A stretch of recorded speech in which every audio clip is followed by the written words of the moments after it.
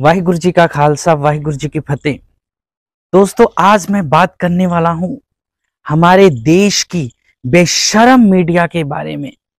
उस मीडिया के बारे में जिसे कभी मणिपुर दिखाई नहीं देता, कभी जिसे रोड पर रुलता हुआ किसान दिखाई नहीं देता और बेशर्मी की हद देखिए, किस तरह से सोनम वांगचुक जैसा महान विद्वान लद्दाख की धरती पर पिछले 16 सतारह दिनों से किस तरह से पानी और नमक के सहारे अनशन पर बैठा हुआ है?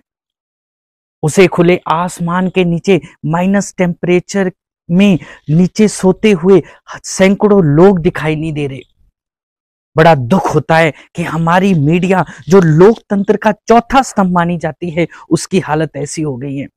लेकिन वो बोल चुके हैं वो भूल चुके हैं इस बात को कि उस परम पिता परमात्मा, उस अल्लाह ताला की, उस मालिक की, उस वाहिगुरु की सत्ता हमेशा रहने वाली है।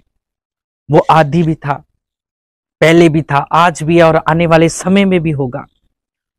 लेकिन ये भूल चुके हैं, सत्ता आती जाती रहती आज किसी का राज है, कल किसी का राज है। इस बेशरम मीडिया को अगर लद्दाख नहीं दिख रहा, अगर रोड पर डुलता हुआ किसान नहीं दिखता, मणिपुर नहीं दिखता तो दोस्तों, सोचने की बात है।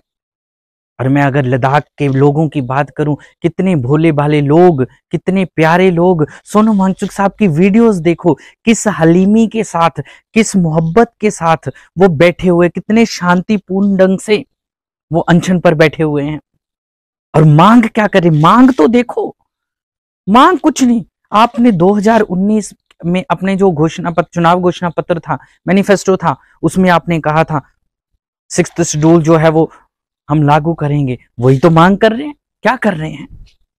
वही भारत के मीडिया वही तरस कर दिखा उन लोगों को, माइनस टेम्परेचर में कैसे खुले आसमान के नीचे पानी और नमक के सहारे वो व्यक्ति पड़ा, वो व्यक्ति जो कल तक तुम हीरो बना के दिखाते थे जिसे देशभक्त और बड़ा विद्वान दिखाते थे, आज वही हीरो बैठा है। सोचने की बात है, अगर इतनी बड़ी महान शख्सियत अगर अनशन पर इस तरह से बैठी तो कुछ तो बात है। अरे मीडिया उस मालिक से डर, दिखा क्यों नहीं रहा लद्दाख तो? क्यों नहीं दिखाता मीडिया कि किस तरह किसान रोड पे बैठा हुआ है, कैसे मणिपुर है?